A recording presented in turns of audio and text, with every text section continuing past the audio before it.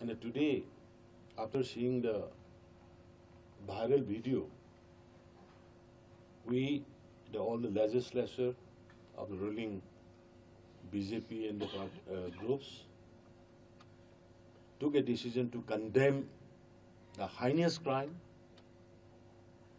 and also we term it,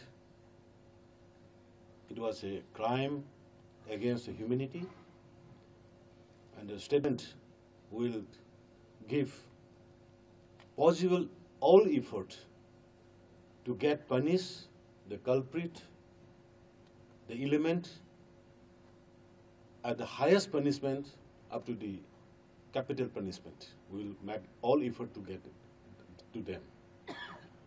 And I, on behalf of the legislature party and the people of the state, want to appeal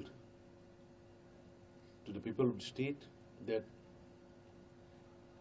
we should make this event as the last against the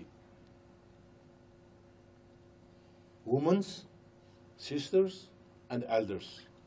We should respect the women's, we should respect our sisters, our mothers, we should respect our elders. That is why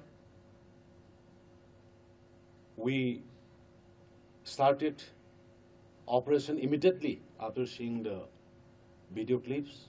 And now the state police has arrested the suspected male culprits and the further investigation is going on.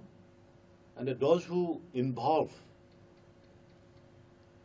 will also be arrested and a book as per the law of the land at the earliest. Thank you. Sir, how many arrested and- and how many are identified? Anish, Uh, Anish Rai. As of now, one has arrested yesterday, and uh, recently I got one information, another one also arrested now.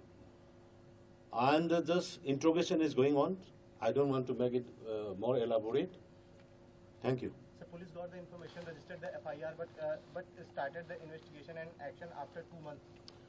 देखो वही तो बोला है ना